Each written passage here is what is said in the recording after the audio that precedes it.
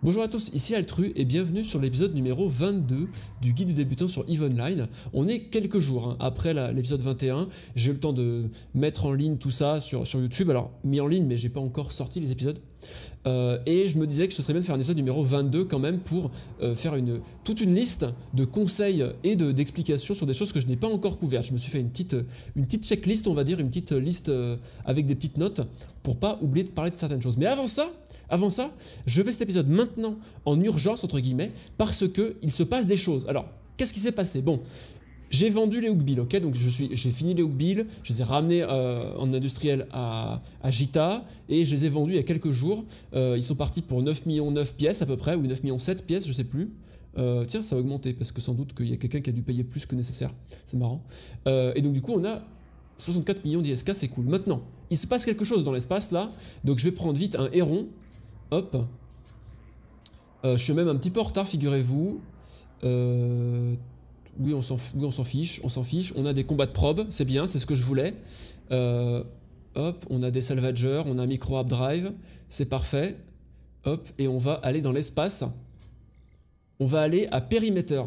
Parce que il se trouve que entre l'épisode numéro 21 et numéro 22, eh bien, le, le périmètre euh, Tranquility Trading Station a été attaqué euh, par une alliance de trois, enfin une alliance, une coalition de trois alliances de joueurs, donc énormément de gens, on va dire, euh, qui se sont mis à attaquer toutes les structures qui étaient à côté de la gate qui mène vers Gita, côté périmètre. Donc toute l'alliance qui s'appelle Tranquility Trading Consortium, qui possédait toutes les stations de commerce, on va dire, et de recherche et de plein de choses euh, du côté de périmètre, là où on avait construit notamment les, les Hookbill, eh bien, les stations se font attaquer. Et donc, euh, je voulais quand même vous montrer un petit peu à quoi ça ressemblait. Euh, sachant que y a, ça se fait en plusieurs fois les attaques. on attaque d'abord le bouclier, après on attaque l'armure quelques jours plus tard, puis la structure quelques jours plus tard encore. Et là, en l'occurrence, eh bien, le Tranquility Trading machin est attaqué et... Mais du coup, il est attaqué, mais il se fait tirer dessus ah, il se fait pas tirer dessus parce qu'il est, il est en train d'être défendu, figurez-vous, par ah, une grosse flotte d'alliés. Euh, puisqu'effectivement, du coup, le, Tranquility euh, Trading Consortium, l'alliance qui possède cet endroit-là, a, euh, eh ben on va aller voir, on va voir ce qu'il y a justement, hop, a fait appel à plein d'alliés pour défendre alliés qui ont peut-être reçu de l'argent en, compensation, ou tout simplement qui euh, eux aussi ont plein d'affaires à l'intérieur de cette station et ne veulent pas qu'elle se fasse détruire. Pour information, en ISEC, lorsqu'une station comme celle-ci se fait détruire, eh bien vous inquiétez pas, vos affaires sont, sont quand même pas perdues, hein. elles sont transportées dans une station non joueur à proximité, et pour seulement 0,5% du coût de vos affaires, vous pouvez les récupérer. Donc c'est automatique tout ça, hein. donc c'est pas très grave. Euh, donc là le timer arrive à 10 secondes près, donc la station va être réparée, ça fait plutôt plaisir, c'est cool. Donc on va, on regarder l'animation qui est toute simple, hein, mais que j'aime bien. Hop. Et voilà. Parfait. Alors ça peut sembler, ça peut sembler trivial ce que je viens de montrer, hein, mais il faut bien comprendre que l'adversaire a... Euh, ah, et par contre, celui d'ailleurs, celle-là a été attaquée par contre. Ah, ouh, d'accord. Il faut comprendre que l'adversaire a euh, précédemment euh, tabassé 90 millions de points de, de, bouclier, si vous voulez, et euh, avait décidé de tenter de revenir 24 heures plus tard pour attaquer l'armure. Donc, c'est pas trivial ce qui vient de se passer c'était une menace existentielle pour euh, cette structure qui, si jamais elle n'avait pas été défendue, aurait pu, dans euh, quelques jours, être détruite de manière euh, définitive. Celle-ci, qui est similaire, hop d'ailleurs, elle s'est fait attaquer il y a quelques, quelques heures, et on peut voir qu'elle a perdu non seulement son, bouclier il y a quelques jours, mais également son armure il y a quelques heures. Donc maintenant, elle est renforcée pour encore 4 jours et 22 heures, et à l'issue de ces 4 jours et 22 heures, elle sera vulnérable pendant une demi-heure ou plus pour qu'on attaque sa structure. Et là, si jamais la structure est détruite, eh bien la structure entière est détruite.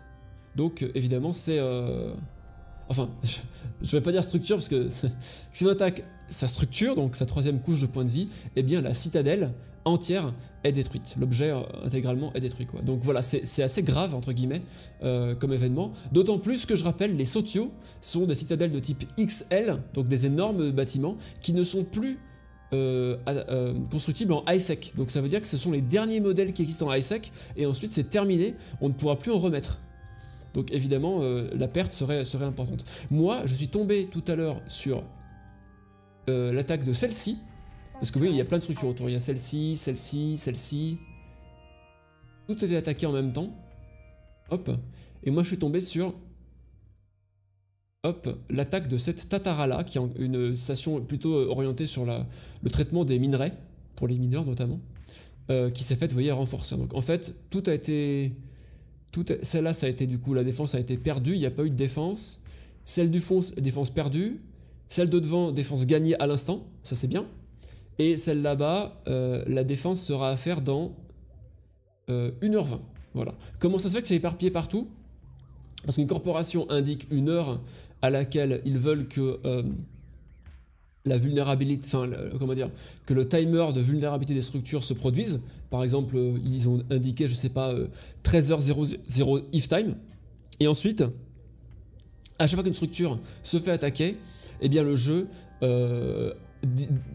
on va dire, détermine au hasard une heure de vulnérabilité euh, pour la prochaine attaque qui est plus ou moins 3 heures par rapport à l'heure qu'on avait indiquée.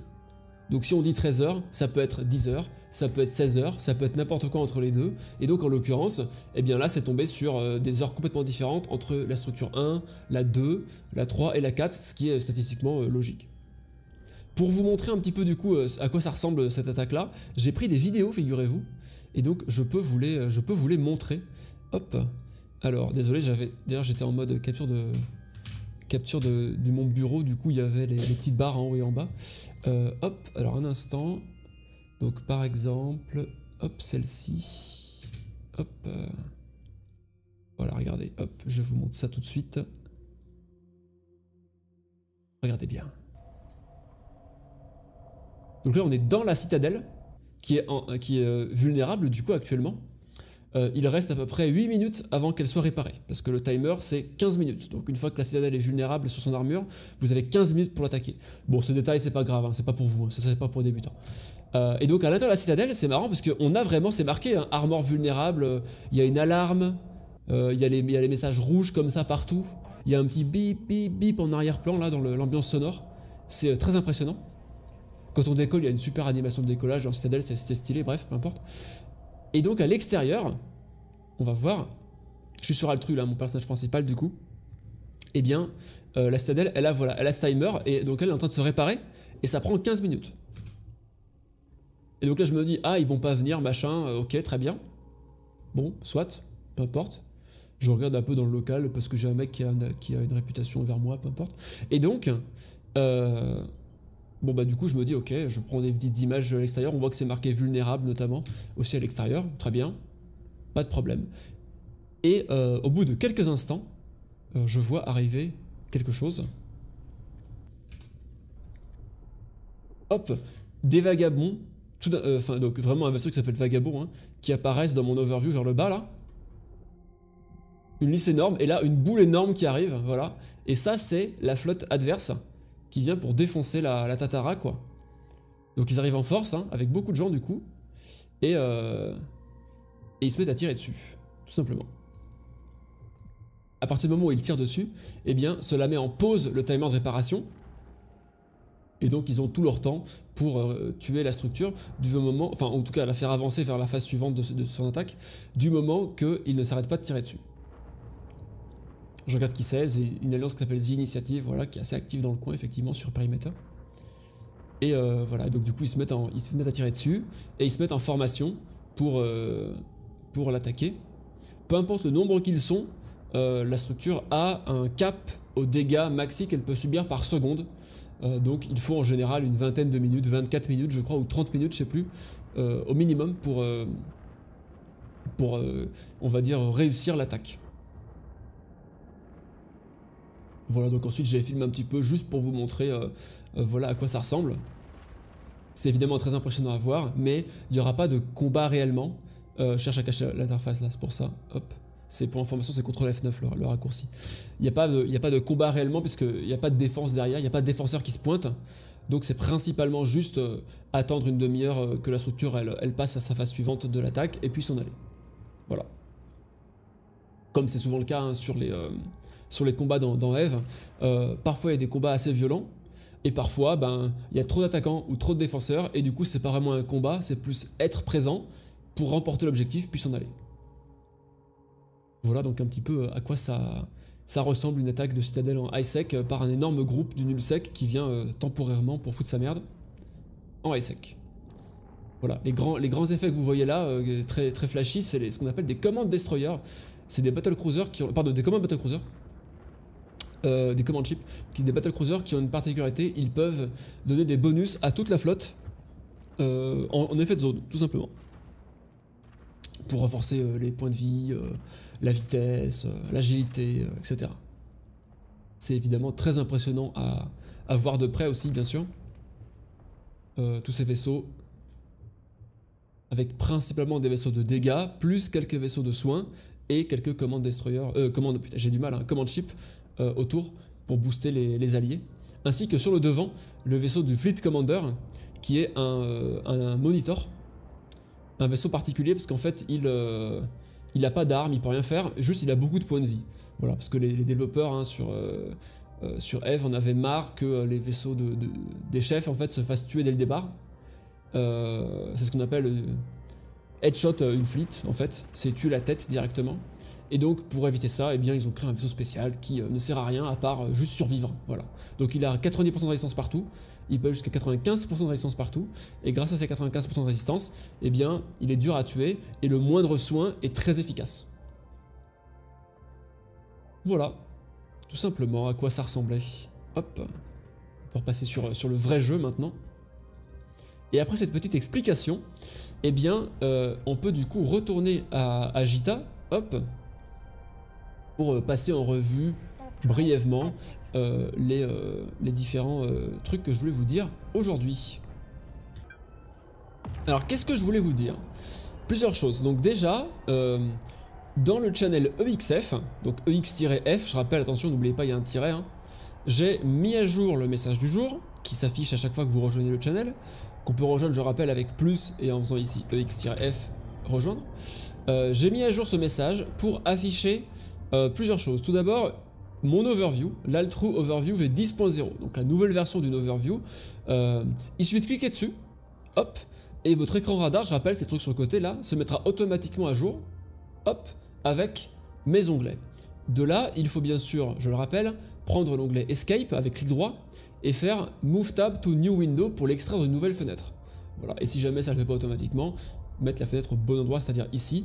N'oubliez pas d'être dans l'espace à ce moment-là, de faire CTRL-clic gauche pour cibler n'importe quoi, peu importe, et de vérifier que euh, les cibles apparaissent bien à gauche de la petite fenêtre que vous avez créée. Si vous faites comme moi, hein, sinon bah, peu importe. Mais si vous faites comme moi avec une fenêtre qui est à cet endroit-là, pas oublier de toujours déplacer ce truc-là pour bien le mettre au bon endroit, parce que c'est ça qui détermine où c'est que euh, votre... faut le faire plusieurs fois des fois avant que ça prenne. Euh, où c'est que vos cibles apparaissent, et donc il faut faire attention à ce que les cibles aillent au bon endroit, en l'occurrence coller à la fin de la fenêtre escape, voilà, et non pas par-dessous la fenêtre escape, ce qui servira à rien bien sûr. Autre chose, sur un écran comme j'ai là, 16 euh, 9 enfin 16 dixième plutôt, euh, bien penser ici à déverrouiller, euh, si c'est pas déjà fait, le directional scanner, si vous l'avez mis comme moi, hein, parce que vous l'avez peut-être pas mis au même endroit que moi, et à le descendre un petit peu. La raison étant que si jamais vous ciblez beaucoup de choses, eh bien, la liste des cibles va finir par déborder sous le directional scanner. Et du coup, c'est dommage si jamais vous les voyez plus ces cibles là parce qu'elles sont cachées sous la fenêtre qui est là. Voilà. Donc si vous avez des gros vaisseaux, genre Battle Cruiser et supérieur, faut penser à baisser ça ici. Également, pensez à ne pas le mettre comme j'ai mis, c'est-à-dire là, parce qu'on mord sur un petit bout ici des éléments, plutôt le mettre là, à la fin de la fenêtre de recherche, ici, pour être sûr de ne pas prendre de la place euh, euh, assignée à notamment le, le plus automatique, au challenge, etc. etc. Voilà ma recommandation. C'est dommage d'avoir un trou ici, mais honnêtement, je pense que c'est obligatoire. Euh, oula, c'est rien. Euh, puisque euh, le local, ça sert à rien de prendre toute cette, largeur-là, ça sert à rien. Et là, il n'y a rien à mettre, donc tant pis. Moi, j'aime bien faire comme ça. Ok, donc ça c'était pour récupérer l'overview. Maintenant cette overview, comment elle fonctionne, comment on, la, on, la, on peut faire sa propre overview, etc. Bon, alors déjà comment elle fonctionne donc on a un onglet, l'onglet général, qui, standard, affiche bah, à peu près tout, euh, tout, ce, qui est, tout ce qui est utile. Hein. C'est plus ou moins l'onglet par défaut fourni par les développeurs de base, avec quelques ajustements, histoire que ça, ce soit un peu plus lisible, mais c'est quasiment le truc, le truc de base. Ensuite, on a un onglet Light. Alors l'onglet Light, il a une particularité, c'est que c'est un général, mais avec moins de choses. Un peu moins de choses. Voilà, notamment, il n'y a pas par exemple les, épaves, les vrecs, vous voyez, histoire de, que ce soit un peu moins encombré, euh, mais que vous puissiez quand même faire vos missions avec, votre, vos PVP, PVE, machin, etc. Voilà. Mais c'est quand il y a un peu trop chaud sur le général, on passe sur le light pour filtrer un petit peu ce qui sert à rien. Voilà. Ensuite, on a target. Alors target, Agita, ça change quasiment rien, c'est normal. En fait, c'est pour montrer que les joueurs hostiles ou neutres hostile ou neutre, hein, parce qu'on sait jamais, un neutre peut devenir hostile à tout moment, donc on n'est pas sûr. Donc ça va montrer tous les joueurs et que les joueurs et seulement ceux qui ne sont pas alliés ou qui n'ont pas une bonne réputation envers vous. Qu'est-ce que la réputation? C'est vrai qu'on n'en a pas vraiment parlé, mais il faut savoir qu'à tout moment, vous pouvez cliquer droit sur un joueur, dans le chat ou n'importe où, et faire add contact et le mettre d'une couleur spéciale, ce qu'on appelle le standing, euh, en, orange, en rouge ou en bleu euh, ou en bleu foncé. Vous pouvez également lui envoyer une notification pour lui dire que, que vous l'avez fait. Je t'ai mis allié, je t'ai mis bleu, lol, voilà, une option.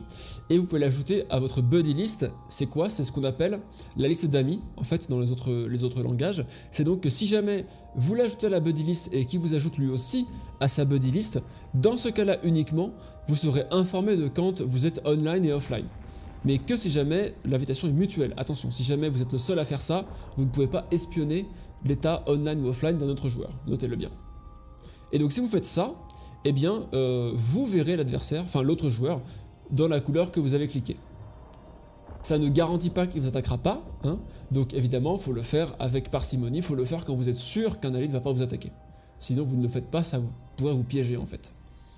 Euh, autre chose, si vous êtes dans une flotte, eh bien pareil, euh, ça disparaîtra de les cibles, puisqu'on part du principe qu'une flotte entre groupes, entre membres d'un même groupe, vous n'allez pas vous attaquer.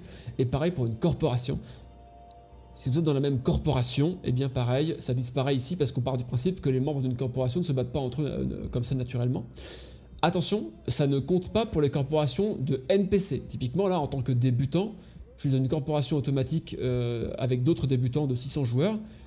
Euh, l'overview est réglé spécifiquement pour ne pas considérer des joueurs d'une corporation NPC comme étant vraiment des alliés. On ne se connaît pas, on ne s'est jamais vu, je ne sais pas qui sont ces gens. Euh, et donc, ce ne sont pas des alliés en réalité. Donc, l'overview ici les compte comme étant des neutres. D'où le fait que c'est tous d'ailleurs avec un symbole de neutre pour information. Voilà, ensuite on a pod, donc ça c'est évidemment pour les joueurs qui font du PvP, ça ne montre que les capsules. Ça servira pas aux joueurs débutants qui euh, font des combats en high-sec en général, hein. mais quand vous tuez un joueur ennemi, son pod est éjecté automatiquement, et si vous avez un petit vaisseau, le moyen le plus rapide pour pouvoir le, tenter de choper le pod et de le tuer avant qu'il puisse s'en aller, c'est d'avoir un onglet dédié pour pouvoir vite spammer le contrôle-clic gauche au bon endroit euh, et ainsi lancer le ciblage le plus vite possible. Ensuite, drone, qui ne montre que les drones ennemis encore une fois, donc avec les mêmes règles que l'onglet target, euh, pour pouvoir du coup bah, voir quels sont les drones ennemis dans l'espace, les cibler éventuellement et les détruire si jamais il y a besoin. Particulièrement utile pour les vaisseaux spécialisés drones, comme par exemple en frégate on a le Tristan, un vaisseau euh, Galente. Voilà. Ou euh, en destroyer, toujours T1. L'Algos, pareil, même chose. Euh, pardon, l'Algos, voilà. Hop, destroyer T1, plein de drones. Parce que ces vaisseaux-là, eh bien, euh, le meilleur moyen pour s'en débarrasser, entre guillemets, c'est de tuer les drones. Et ensuite, vous avez tout votre temps pour les tuer, pour tuer vraiment le vaisseau en lui-même. Une fois que les drones sont morts, le vaisseau est un peu désarmé. Attention, ces vaisseaux-là ont une soute à drones importante et donc ils peuvent quand même sortir plusieurs fois des drones avant d'être à court de drones. Ensuite, on a un onglet alliés qui ne montre que les alliés. En l'occurrence, il n'y a rien, c'est normal parce que j'ai pas de j'ai pas de standing bleu quelque part, j'ai pas pas d'amis dans ma corporation, donc il n'y a rien comme allié, c'est triste mais c'est normal. Euh, c'est bien pour les soins pour pouvoir soigner des joueurs alliés, euh, les cibler, etc. Ou juste voir autour de vous qui est, allié. Euh, c'est un bon moyen de, passer par là. Pour les soins, en vrai, il y a d'autres alternatives plus efficaces que euh, ça, notamment ce qu'on appelle les broadcasts ou la watchlist. Qu'est-ce que c'est? Dans une flotte, hop, je vais en créer une pour vous montrer. Voilà. Dans une flotte, si on, ouvre l'onglet de flotte, qui est en l'occurrence là-bas chez moi, eh bien, on peut cliquer sur des boutons pour envoyer un signal à toute la flotte. Par exemple, besoin de soins bouclier. Voilà. Si vous faites ça, automatiquement ça broadcast le besoin de bouclier à toute la flotte, ce qui fait que dans la liste des broadcasts, hop, il y a une ligne qui apparaît pour vous. Et cette ligne, elle est bien foutue par les développeurs, on peut cliquer dessus. Par exemple, si je fais CTRL-clic gauche, je peux cibler la personne qui a broadcast. Sauf évidemment si c'est moi-même, moi-même puisqu'on ne peut pas se cibler soi-même, évidemment. Euh, si jamais c'était une destination, par exemple, si jamais je fais broadcast euh, sur une station, euh, ou une, lune, par exemple celle-là, broadcast warp to, hop, ça apparaît dans la, dans la liste, et du coup ça indique qu'il faut warper sur cet endroit-là. On peut faire clic droit, warper. Donc les broadcasts, c'est très efficace. Une autre alternative pour pouvoir euh, soigner, c'est également de faire clic droit dans une flotte sur un joueur et faire pilot add to watchlist. Ça permet d'ajouter le pilote à une petite fenêtre dédiée qui s'appelle la watchlist qui permet de surveiller l'armure, la structure et le, les boucliers d'une ou de plusieurs membres de la flotte en même temps. Je peux pas la montrer parce que j'ai pas d'amis dans la flotte actuellement, mais depuis cette ligne-là de, surveillance, on peut cliquer contre-clic gauche dessus pour cibler un allié et le soigner derrière. Euh, voilà les différents moyens pour soigner les alliés. Ensuite, on a navigation qui est un peu comme Escape, mais euh, Escape, euh, ça montre beaucoup beaucoup de choses. Et d'ailleurs, Escape, je n'ai pas mis les stations, oui, j'ai ça, j'ai pas mis les stations volontairement. le but, c'est vraiment de pouvoir s'enfuir dans des endroits un petit peu imprévisibles. Et à ce titre, les stations, c'est un peu trop prévisible. J'ai quand même mis les Stargate parce que je me disais que ça peut aussi servir de navigation quand vous triez par type, voilà, et que vous mettez vers le bas, ou que vous inversez le tri par type d'ailleurs, normalement, voilà. Ça, ça peut servir euh, pour l'autopilote tout de même.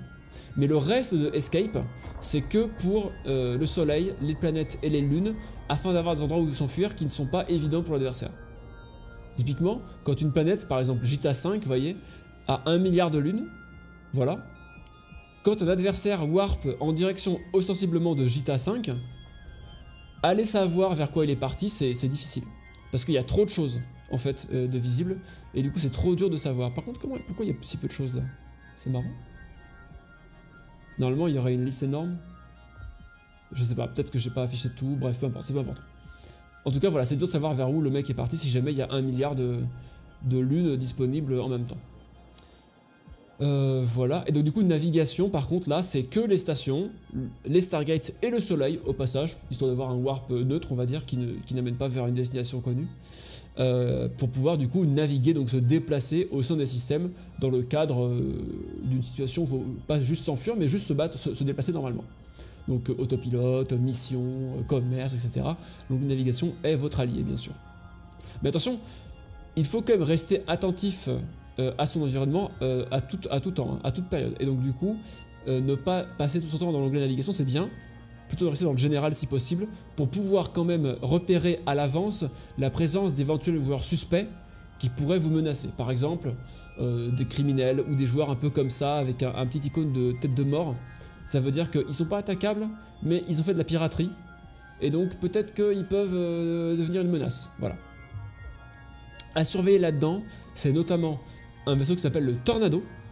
C'est un battle cruiser assez peu cher pour son, pour son efficacité, qui permet en fait de one-shot des adversaires. C'est un battle cruiser qui peut équiper des grosses pièces d'artillerie de type large, donc de, type battleship en fait, et ainsi faire énormément de dégâts d'un coup. C'est utilisé en ISEC pour one shot tous les vaisseaux peu, peu, peu défendus, on va dire, qui posséderaient du loot. Évidemment, Concorde va intervenir et détruire le battlecruiser, mais en échange, vous mourrez et un, autre personnage du joueur en question peut venir récupérer votre, loot avant que vous puissiez revenir le récupérer vous-même. Donc Tornado, attention. En moyenne, on part du principe qu'un Tornado, ça fait 10 000 de dégâts. Donc, si vous avez plus de 10 000 EHP là-dedans, ou 11 000, 12 000, c'est ok quoi. Ça c'est en théorie. Ensuite, on a un autre vaisseau à surveiller, c'est le Trasher. C'est un destroyer euh, euh, Minmatar, donc comme un tornado mais en plus petit. Même principe. Et bien sûr le Catalyst, un destroyer Galente qui va équiper plein plein plein de... C'est un peu comme le Cormoran mais version euh, Galente en fait, hein, qu'on n'a pas ici. Qui va équiper plein de blasters donc d'armes très courte portée, très gros dégâts. Et donc le catalyst il est très utilisé dans le suicide ganking, c'est-à-dire le fait d'attaquer un adversaire en high sec avant que Concorde arrive, parce qu'il a énormément de dégâts par rapport à son prix. Un catalyst, ça fait 500, 600 de dégâts de base, auxquels on rajoute de la surcharge, pour augmenter temporairement les dégâts à 700 dégâts, etc. Je expliquerai ce que c'est la surcharge plus tard. Et donc ça fait énormément de, menaces, bien sûr. Euh, donc euh, c'est très utilisé pour détruire des petits vaisseaux. Euh, le, statut de sécurité du système va indiquer le temps de réponse de la police. Et donc, pour un catalyste qui ne, se base pas sur un seul tir qui fait beaucoup de dégâts, mais plus sur un gros DPS, donc dégâts par seconde, effectué sur plusieurs secondes, eh bien la présence va évidemment du catalyste va évidemment dépendre du niveau de sécurité. En 1.0, la police arrive quasiment tout de suite, donc un vaisseau basé uniquement sur le DPS ne fera pas grand chose. Par contre, plus vous vous rapprochez du 0.5, et plus les tornados vont laisser place à des catalystes. Voilà un petit peu la, règle quoi. Donc que, faire si vous rencontrez ce genre de situation? Bah en vrai, il n'y a pas grand chose que vous puissiez faire, à part éventuellement euh, attendre pendant une minute, pendant que vous êtes invisible, que euh, peut-être au cas où le, vaisseau suspect s'en aille, ou attaque autre chose. Par chance, ça peut arriver, mais bon, c'est assez rare. Sinon, bah faut juste pas oublier d'allumer ses moteurs. Si vous avez des propulseurs, de les allumer, hein, et puis de warper vite ou de retourner vite vers la Stargate pour s'enfuir. Voilà. Si vous tombez notamment en petit vaisseau face à un tornado, le conseil le plus important, c'est probablement de regarder où le tornado est dans l'espace. Par exemple, euh, si c'est un tornado, vous voyez, typiquement. Mettons, nous on est genre... Regardez, hop, on est... Attendez, on est où? Nous on est là, ici, vous voyez. Lui il est là, imaginons. Eh bien, il ne faut pas s'approcher de lui ou s'éloigner de lui. Parce que dans ces cas-là, on n'aura pas de vitesse angulaire par rapport à ces tourelles, et donc ces tourelles auront de très bonnes facilités à nous toucher même si on est petit.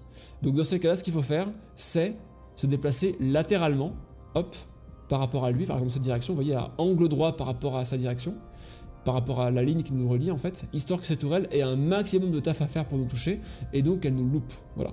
Après, ne paniquez pas, hein.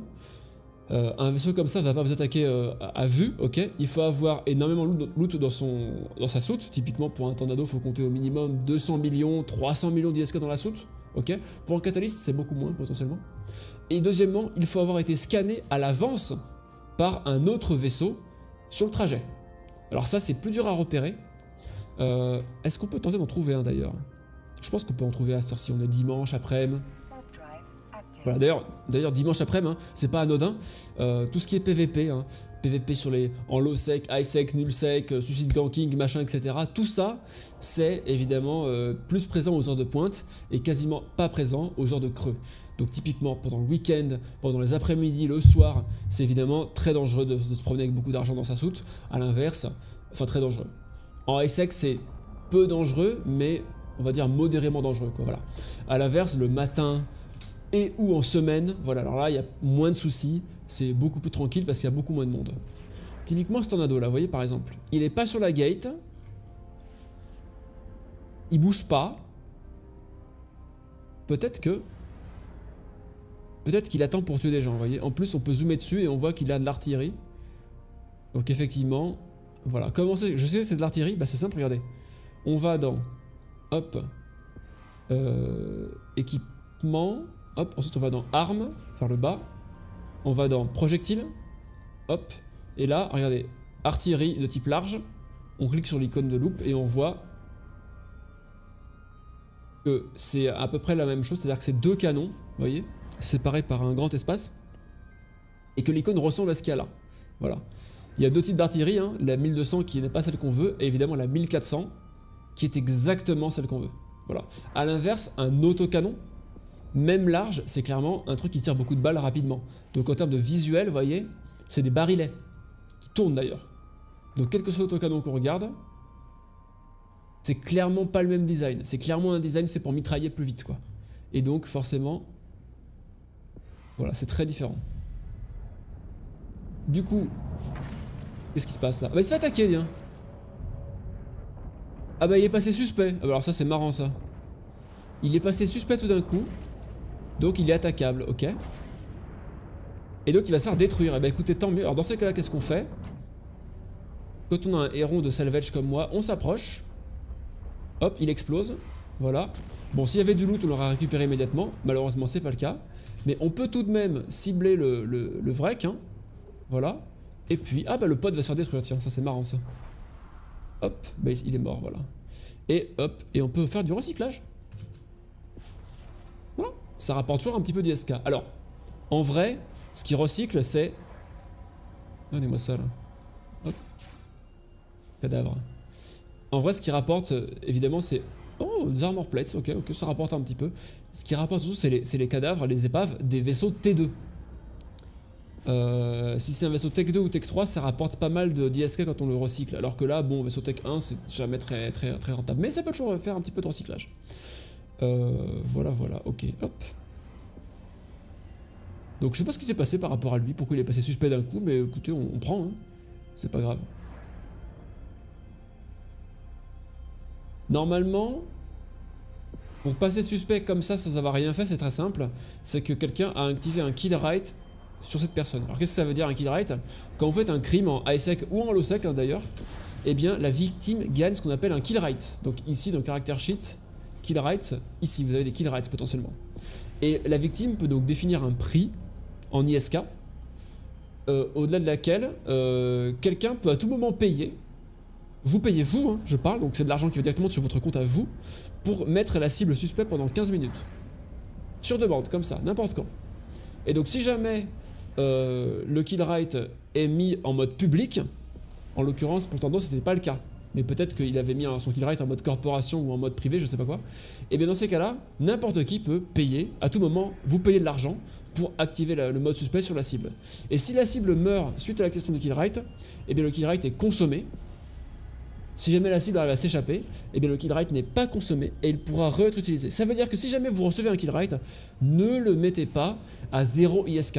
Parce que dans ce cas-là, la cible, votre attaquant, elle-même va prendre un ibis, demander un allié d'activer le right, tuer l'ibis, ce qui, qui lui fait rien perdre comme ISK, puisque un ibis ça vaut rien, et consommer le right. Donc il faut forcément mettre un montant en ISK qui est pas trop cher pour que des joueurs neutres comme n'importe qui là aient envie de l'activer, mais suffisamment cher pour que la- l'attaquant qui vous a du coup euh, tué tout à l'heure, euh, puisque vous avez un kill right, eh bien n'ait pas envie de euh, dépenser le kill right lui-même pour le, le retirer quoi. Il faut trouver le juste milieu bien sûr. Et donc euh, les kill il faut savoir que c'est utilisé principalement pour arnaquer les gens. On va trouver des vaisseaux qui sont ultra tanky, ultra chers mais ultra résistants, qui attendent près d'une station, hein, prêts à redocker à tout instant et qui ont un kill rate qui vaut des centaines de millions d'ISK. Et vous, vous activez le kill rate en pensant que vous allez pouvoir faire un super kill, machin, etc. Mais en fait, le vaisseau, il est largement capable de tanker vos, dégâts, le temps de s'enfuir ou le temps de rentrer dans la station. Et donc, vous avez juste dépensé 100 millions d'ISK ou je sais pas combien pour rien. Donc attention hein, à ne pas activer les kill rates. Sur l'overview Altru, les kill rates ont un icône orange. Voilà. Ok. Donc voici un petit peu l'explication hein, que j'ai donnée par rapport du coup à l'overview, par rapport aux gens suspects. Je cherchais du coup ici euh, potentiellement un, un vaisseau de repérage, puisque j'avais commencé à dire que en plus de l'horaire euh, du jour et euh, le jour de la semaine, etc., pour repérer les gens qui veulent utiliser des suicides gankers comme des tornados ou des catalystes, on va repérer via un vaisseau de scan qui attend près de la, Stargate, en général.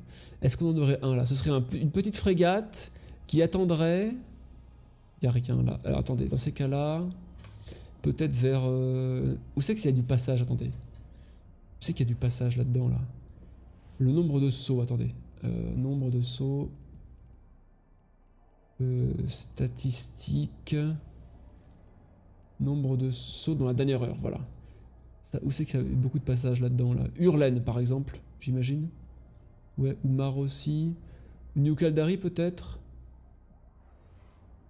Je sais pas où aller. All- Allons voir du côté de. New Caldari. Ouais, allons voir du côté de ouais, ok. Active. On devrait en trouver un de vaisseau de reconnaissance. C'est une petite frégate qui, euh, quand vous vous mettez en look-at dessus, vous voyez que régulièrement, elle a une toute petite animation de, une petite onde qui va vers quelque- dans l'espace quelque part dans une direction, et un petit, un petit bruit de, de scan, un petit tout, juste, juste un petit bruit, un petit tic, tic, juste un petit machin comme ça. Et ben ça, ça veut dire qu'en fait, elle est en train de scanner le contenu de la soute et de l'équipement de l'adversaire, enfin de, gens qui passent en fait au hasard. hein et donc de vérifier si jamais ils ont du stuff. Et ben, si jamais c'est en heure de pointe, dans un système fréquenté, où vous avez déjà vu quelqu'un vous. Pas forcément vous cibler, parce qu'ils utilisent des modules spéciaux pour pas que vous soyez informé que vous êtes ciblé, mais juste quelqu'un faire un petit ti sur vous, hop, au passage, et bien, euh, et que vous avez du stuff de valeur dans votre soute ou dans votre vaisseau, dans l'équipement du vaisseau, eh bien attention à vous effectivement parce que vous pouvez être la cible potentiellement d'un repérage et ensuite d'un suicide gang. Voilà un petit peu comment ça, comment ça fonctionne. C'est quand même assez... Euh, vous voyez, c'est beaucoup de conditions quand même, hein, mais ça peut vous arriver. Voilà. Hop. Par exemple le Condor là typiquement, est-ce que... Non. Non, non, là il n'y a rien. On verrait normalement une frégate qui bouge pas, qui est collée à la Stargate ou à proximité et qui attend quoi. Là il n'y a clairement rien. Euh, peut-être si on s'approche un petit peu de euh, Josameto, par exemple, je sais pas. Il faudrait, non, il faudrait, euh, par exemple, aller vers Amar, typiquement. Un autre hub commercial depuis Jita. Voilà. Mais sans passer par du, du Losec. Voilà, Nia Bainen, ok, bah typiquement. Retournons à Nia Bainen et voyons la suite sur la route là. Par exemple, près de ce 0,5 là, vous voyez, Uedama typiquement. 0,5. Donc là, les catalystes peuvent bien attaquer pendant longtemps. Donc on mettrait de la reconnaissance un peu avant ou un peu après. Histoire que les vaisseaux de transport qui vont de Jita vers Amar et vice versa, en aller-retour, se fassent choper sur le trajet. Et puis en plus, ça peut être loin, hein, genre quelqu'un, genre par exemple avec un freighter, vous pouvez vous faire scanner à Amar, vous voyez, et après il se passe rien pendant longtemps, et les mecs vous attendent à, euh, à Uedama, vous voyez, typiquement. C'est une possibilité aussi. Donc faut faire gaffe hein, par rapport à ça. Euh, ça peut être vite euh, très dangereux. Voilà, et donc maintenant comment on fait une interface Bah regardez, hein, clic droit, enfin comment on fait un écran radar, une overview eh bien ici, on peut du coup définir des noms de, des noms d'onglets, un filtre et un bracket filter. Le bracket c'est quoi? C'est les icônes dans l'espace. Moi j'ai mis en sorte que tout soit toujours visible, tout le temps, sauf pour le filtre light et target, parce que quand on est sur ces filtres, ça veut dire qu'on veut un peu filtrer ce qu'on voit parce qu'il y a trop de choses. Donc c'est en général les cas où on commence à avoir une préférence pour euh, filtrer un peu moins de choses. Et donc dans ces cas, j'ai mis quoi comme filtre? Ne mettre que ce qui apparaît à l'onglet Light, euh, mais euh, qui soit visible dans l'espace. Pour avoir un truc un peu plus réduit, par exemple, il n'y a pas les drones dans l'onglet Light, vous voyez, typiquement. Donc c'est intéressant parce qu'en fait, du coup, un filtre peut être utilisé pour l'écran radar, mais également pour filtrer ce qui est dans l'espace autour de vous, ce qui est affiché en termes d'icônes dans l'espace. Typiquement, donc Hurlen, on peut aller voir, ouais, peut-être qu'il y aura quelque chose. Voilà, on peut mettre des couleurs, très bien, machin. Ensuite, chaque filtre peut être chargé ici. Là, on a les filtres par défaut qui sont pas modifiables, mais on peut les enregistrer sous pour les rendre modifiables. Ensuite, on peut cocher ou décocher différentes cases pour activer ou pas activer le, type de machin dans l'affichage du filtre et sauvegarder quand on a fini. On peut mettre des exceptions qui indiquent à quel moment est-ce qu'on refuse que ça s'affiche ou on force l'affichage malgré le refus et c'est ce stack. Donc par exemple, je peux dire, je veux jamais voir les membres de mon alliance. Sauf si jamais, euh, par exemple, le, le gars en question est dans mon alliance, mais il a une réputation terrible envers moi. Ou c'est un criminel, vous voyez. Dans ces cas-là, je veux quand même le voir. Voilà. Typiquement, c'est le genre de choses qu'on peut régler. Hop. Voilà. Mais nous, on peut aussi en toucher, hein, ça marche bien. Euh, par exemple, pour l'onglet Target, typiquement, j'ai mis un truc là, regardez. Euh, hop, voilà, typiquement, celle-là, Target Capsular All No Drone Custom, c'est le, le nom que j'ai donné à mon filtre. Et eh bien, typiquement sur celui-là, qu'est-ce qu'on a? J'ai mis qu'on cachait les agents, parce que le NPC on s'en fout. Euh, on cachait les gens qui ont un bon standing, un excellent standing, qui sont dans mon alliance, qui sont alliés dans mes guerres, dans ma alliance de, de capsulaire, de, dans ma flotte, dans ma milice, enfin, que voir faire. tout ça je cache en fait. Et le reste, je l'affiche par défaut. Ensuite, apparence. L'onglet apparence permet d'afficher les petits icônes qu'on voit, comme le égal là, sur l'écran radar à côté des, vaisseaux joueurs. Et également, attention, l'icône dans le chat. Voilà. Qu'est-ce que j'ai mis? Bah moi, en fait, ce que j'ai mis, c'est tout. Et je fais clignoter ce qui est attaquable en ISEC sans réponse de concorde. Donc en guerre contre moi, c'est attaquable sans que la police s'en intéresse. En guerre contre ma milice, c'est attaquable. Limited engagement, comme par exemple un duel, attaquable. Euh, Secret status moins 5, attaquable. Criminel, attaquable. Suspect, attaquable. Et Retribution Timer, c'est Azarzac, euh, on verra plus tard ce que c'est. Attaquable aussi. Voilà. Tout le reste, ça ne clignote pas. Et ensuite, on a le background qui correspond à la couleur d'arrière-plan. Voilà, qui peut être différente de la couleur de, l'icône pour information. Pareil, ça clignote quand c'est attaquable, mais avec un peu moins de clignotement tout de même, je crois. Et puis après, le background, lui, eh bien, il a un petit peu moins de nuances dans les couleurs, je crois, notamment. Euh... D'ailleurs, c'est pas très bien, ça j'aime pas. Euh. Je mettrai à jour pour que le bad standing il soit en orange parce que j'aime pas que les deux soient en rouge. Pour moi, j'aime bien faire la différence quand même. Mais bon, peu importe. Et peut-être que celui-là, je mettrai en rouge plutôt. Hmm. Je verrai. Mais bon, en tout cas, voilà, c'est à peu près ça. Rouge, orange, jaune, c'est pas bien. Vert, bleu, turquoise, c'est... Vert, bleu, c'est bien. Violet, c'est bien. Turquoise, ça dépend. Turquoise, c'est... Euh... Limited engagement, c'est pas bien parce que c'est du coup pour un duel. Et euh... Mais bon, un duel en général, on l'accepte, donc c'est c'est pas si mal que ça parce qu'on l'a accepté donc c'est pas forcément mauvais. Et, et, turquoise foncé c'est euh, en théorie c'est allié mais on sait jamais, ça peut, ça peut mal tourner. Donc je l'ai mis en une couleur un peu sale on va dire pour signifier que c'est un peu dangereux. Et vert bien sûr c'est allié euh, parce qu'on est dans la même corporation. Voilà. Ensuite on a les vaisseaux donc ça c'est en fait c'est quoi? C'est quand on met la sur un objet. Ici on a potentiellement euh, un texte qui s'affiche.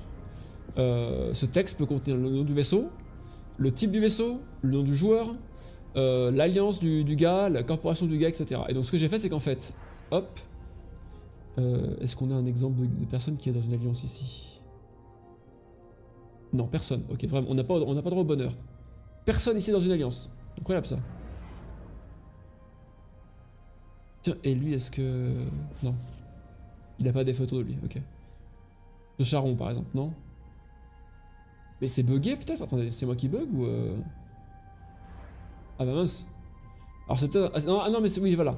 Typiquement, dans une corporation, donc il a entre crochets, voyez, il a ce qu'on appelle le, corp ticker, c'est-à-dire le nom raccourci de la corporation. Par exemple, pour Exploration Frontière INC, ma corporation, le ticker c'est EX-F.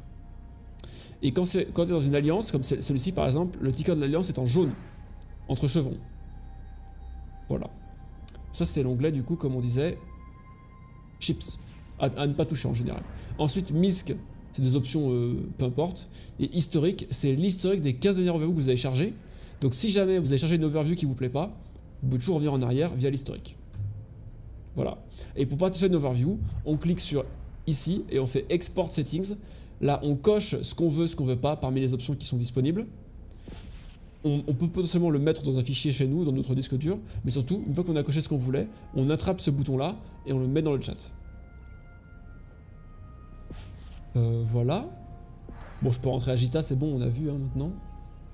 Hop. Et le deuxième truc que je vais vous montrer pour finir cette vidéo, c'est les skill plans. Donc pareil, hein, dans l'onglet, euh, dans le channel EX-F, dans le message du jour, en dessous de Overview, j'ai créé des skill plans. Pour l'instant, il y en a 5. Euh, on a donc Alpha basique avec une version pour les Amars, les Caldari, les Galent et les Minmatar. C'est pas forcément pour information l'empire de votre personnage, ça peut être l'empire des vaisseaux que vous voulez piloter. Je pars du principe que si vous avez créé un Caldari, il est vrai qu'en théorie, vous avez plutôt envie de vouloir piloter des Caldari. Mais c'est pas forcément vrai. Donc, le skill plan, il faut bien vous dire qu'il n'est pas lié à votre couleur de peau, hein, ou l'empire de départ, ou je sais pas quoi, il est lié juste à ce que vous voulez faire. Et donc c'est quoi? Eh bien ce sont des skill plans pour les comptes alpha, comme le nom l'indique, pour la race en question, enfin l'empire en question plus précisément, et euh, basique parce que c'est c'est vraiment facile à... Enfin c'est pas beaucoup quoi, c'est vraiment des skills de base. Quand on clique dessus, voilà, hop, on va voir potentiellement des petits icônes qui indiquent les différentes milestones, c'est-à-dire les, les, points de passage que le skill, que le, skill plan peut débloquer. Voilà, mais c'est juste une indication et j'ai pas pu mettre grand chose à l'intérieur parce que c'est un peu restrictif donc c'est pas forcément une indication très fiable. L'important c'est le contenu du skill plan qui est là, voilà, qui contient un milliard de trucs et c'est normal parce qu'en fait il commence toujours par tous les skills que les joueurs débutants possèdent. Donc en fait de là à... Euh, on va attendre que ça charge. De là à... Fou, tout, tout, tout, jusqu'à... Jusqu'à... Euh, Mining Upgrades 1, non inclus. De, donc de là jusqu'à là, vous voyez, les deux tiers. Hein, en fait, c'est juste les points de compétence que votre personnage commence avec. Je les ai mis au départ histoire que ça se mélange pas pour qu'on ait bien une vision claire de ce qui est déjà entraîné et ce qui n'est pas entraîné. Et normalement, ensuite, c'est pas entraîné. Je commence par Mining Upgrades parce que le tutoriel vous demande de le faire. Et, pareil pour Hyper System 1 et 2. Hein. Et une fois que vous avez fait Hyper System 1 et 2, là, vous êtes un peu plus libre de cliquer où vous voulez dans l'interface. Et donc là, le skill plan commence réellement. Donc en fait, il commence là. Et pour les Caldari, j'ai donc mis euh, voilà, des niveaux de résistance de bouclier, ensuite des frégates, et puis machin, etc.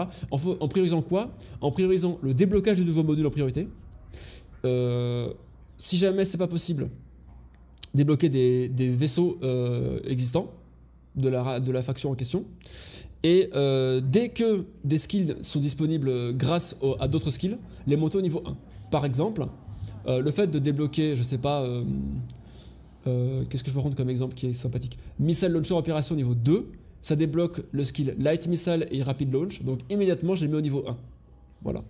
Voilà un petit peu le concept de ce genre de skill plan, histoire de maximiser la progression immédiate et ensuite de vous donner des euh, compétences sympathiques euh, pour explorer un petit peu le jeu. D'ailleurs, c'est la description du, truc. Hein. Euh, alpha, basique, alpha basique modifié pour le vaisseau Caldari. Euh, et j'ai non, il faudrait changer la description parce que je voulais marquer pour explorer et découvrir un petit peu des nouvelles choses. Mais j'ai pas marqué ça, j'ai oublié. Bon merde, c'est pas grave. Voilà, vous pouvez cliquer là-dessus à tout moment pour acheter tous les points de, enfin les- toutes les compétences qui vous manquent en fait. Mais attention, il est fort possible que si vous faites clic droit, vue market details, vous trouviez potentiellement Agita ou ailleurs euh, un livre de compétences qui est moins cher que ce qui est indiqué quand vous cliquez sur ce bouton-là. Voilà. Donc attention. Je rappelle que, hop, ici on voit hein, clairement qu'il y a des stations qui euh, sont des stations qui vendent des, bouquins euh, par des NPC. On sait que c'est des NPC qui vendent parce que c'est plus que 90 jours ici. Dans ces stations, en général, vous trouverez tous les livres que vous cherchez et à des prix très compétitifs. Donc il vaut mieux, en général, docker à la station en question, l'une de celles-ci, et acheter tous les bouquins que vous voulez acheter un à la main, un à un, on va dire, plutôt que de cliquer sur ce bouton-là et tout acheter d'un coup depuis l'espace, mais payer un prix potentiellement bien plus cher que ce que vous avez pu économiser. Tout dépend du, temps que vous avez et de l'argent que vous avez, bien sûr. Alors évidemment, il y a quatre skill plans qui ont toute une durée différente, mais il y aura évidemment beaucoup de choses qui sont identiques dans ce skill plan-là. Donc en pratique, quand vous avez fait un des quatre skill plans, faire les autres, c'est relativement rapide. Et ensuite, le cinquième skill plan, c'est un skill plan un peu différent. C'est le skill plan des compétences de support, de support pour les comptes alpha. Alors qu'est-ce que ça veut dire? Eh bien, dans ce jeu, il y a des compétences qui ont des bonus qui s'appliquent sur tous les vaisseaux du jeu.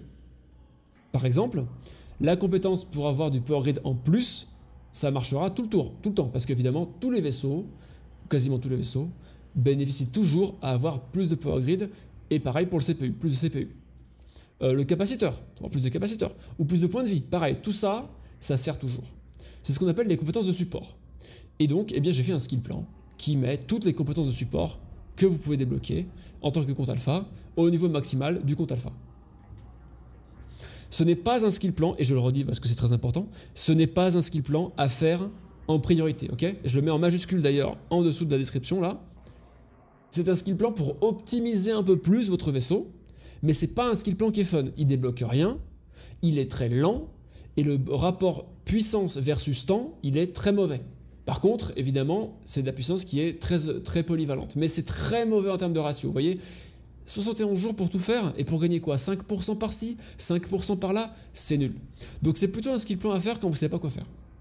Et dès que vous savez quoi faire, vous l'annulez et vous passez à autre chose. Voilà ma recommandation. Pour donner l'exemple, je vais d'ailleurs cliquer sur le site plan Caldari et je vais faire euh, potentiellement euh, le copier dans mes skill plans personnels, j'imagine. Ou plutôt, non, plutôt le bouton ici pour le copier et le suivre. Hop, voilà. Donc là, il est copié, il est suivi. Donc maintenant, j'ai ici les milestones qui vont bien. Là-haut, pareil.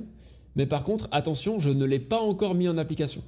Ma, file de compétences, c'est encore l'ancienne file de compétences que j'avais avant de le prendre. Et maintenant, je clique dessus. Et là, je dois pouvoir faire... euh, Alors, je dois forcément acheter les compétences manquantes. Ouais, c'est logique, hein, j'imagine. Bon, bah, je vais les acheter. Euh... Check on market. Voilà, plutôt comme ça, ouais. Ah, c'est plus cher par contre, c'est intéressant. C'est plus cher, ok. Et ben, ce que je vais faire, c'est, comme c'est plus cher que le prix qui était indiqué là, je vais virer celles qui ont des pourcentages indécents. Donc, et qui ont un chiffre indécent également. Donc, genre, euh, quasiment tout en réalité. Non, mais de toute façon, je le fais à Gita, c'est une mauvaise idée. Allons ailleurs que Gita. Faisons ce que j'ai dit, c'est-à-dire, on prend un autre qui est pas Gita, où il y a beaucoup, beaucoup de order NPC, genre par exemple 8 typiquement là d'où on vient, les agents de carrière. Voilà. Et je vais aller plutôt acheter tout ça à 8 Ouais, je vais faire ça, c'est plus simple. Hop, let's go. Comme ça, on fait des vraies économies. Alors je suis d'accord, hein, ça coûte pas très cher tout ça, mais bon, autant le faire. Euh, pendant qu'on est sur le trajet, j'explique un truc, c'est que même si bon, c'est quand même quelques millions, c'est globalement fait pour pas coûter très cher. Et puis d'ailleurs, même si on peut pas euh, lancer le skill plan sans avoir euh, acheté tous les skills, on peut quand même regarder à quoi il ressemble, regarder quel est le prochain skill sur la liste, par exemple celui-ci, voyez, ou le skill apprenable sur la liste, par exemple celui-là, et puis cliquer sur plus pour le mettre en entraînement dans le, dans skill plan, enfin dans notre vrai fil d'attente de compétences, voyez, ou le, glisser déposer, ça marche aussi. Euh, on peut quand même le faire comme ça pendant qu'on cherche les fonds nécessaires pour acheter tout le skill plan, voilà. Mais du coup, il est quand même pas très cher ce skill plan. Et il est pas très cher parce que j'ai retiré une compétence qui en vrai est quand même pas mal utile. C'est euh, Thermodynamics. Parce que ça coûte 4,5 millions, ok Mais c'est la compétence qui vous permet de surcharger vos modules. Et j'ai dit que c'était que pour les comptes alpha, mais en fait c'est pas vrai. Lorsque les comptes alpha ont été inventés par CCP, c'était vrai que c'était restreint, mais maintenant ce n'est plus le cas. Thermodynamics, vous voyez, en tant que compte alpha, je peux l'apprendre jusqu'au niveau 4, donc tout va bien. Ça me permet, en cliquant sur ce bouton vert, ici, de préparer l'overload d'un module. C'est-à-dire que la prochaine fois que je l'active le module, ou la prochaine fois qu'un cycle commence, si le module est déjà actif, le module va gagner en efficacité de X%, indiqué ici par le overload bonus dans le, show info. Et donc pendant la durée du cycle, en l'occurrence 10 secondes, eh il va être 50% plus efficace en termes de vitesse bonus. Donc il va passer par exemple de 550 à 700 et quelques.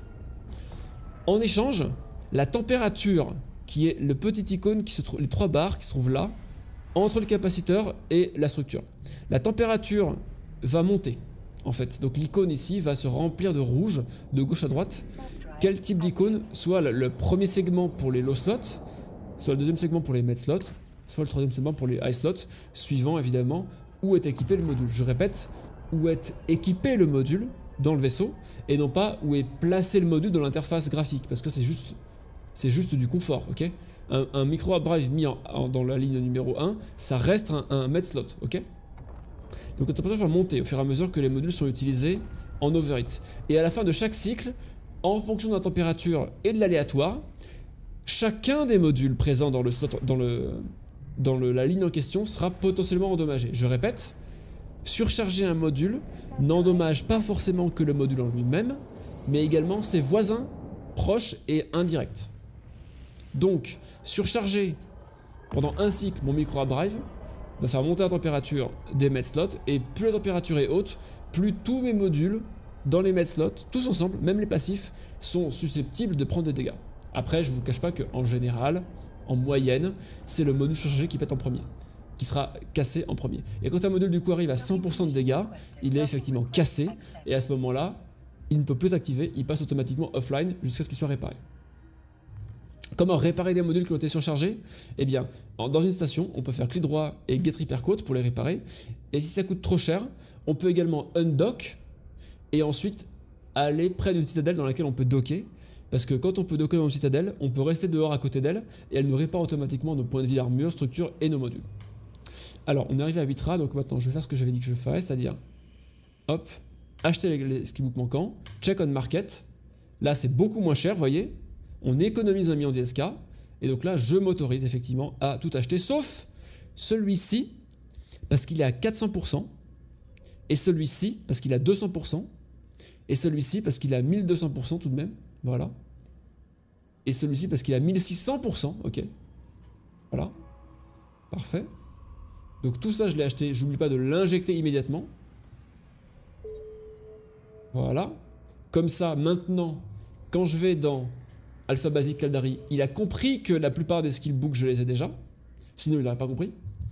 Et donc maintenant qu'il me propose d'acheter le reste, je peux comparer le prix qui est là avec le prix du marché. Comme le prix du marché est toujours plus bas que le prix qui est là, je vais jusqu'au bout, j'achète. Sinon, j'aurais acheté via l'autre option qui est Buy à Inject. Voilà. Ça dépend de ce qui est moins cher.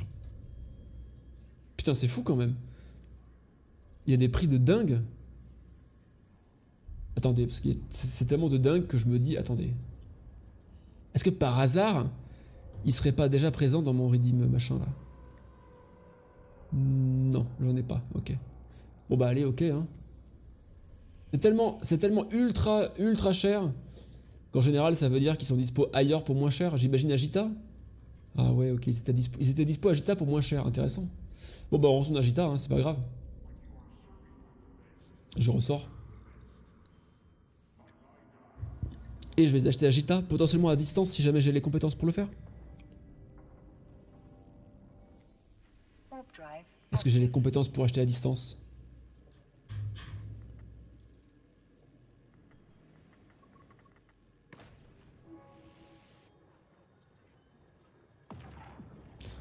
Target painting, weapon disruption. Hop. Négociation. Effectivement, c'est pas cher. Hein. On trie toujours par prix, attention, n'oubliez pas. Euh, parce que par défaut, il trie par euh, je sais pas quoi, mais c'est de la merde. Effectivement, tout est vraiment pas cher. Ça sert à rien de s'en mettre ailleurs. N'oubliez pas que c'est pas parce que je l'ai acheté qu'ils vont pas être marqués comme étant missing. Parce qu'il faut que je les atteigne et que je les mette dans ma tête pour que le skill plan comprenne que je les ai obtenus. Et une fois que je les aurai obtenus, je pourrai faire start training pour bien sûr train les skills en question.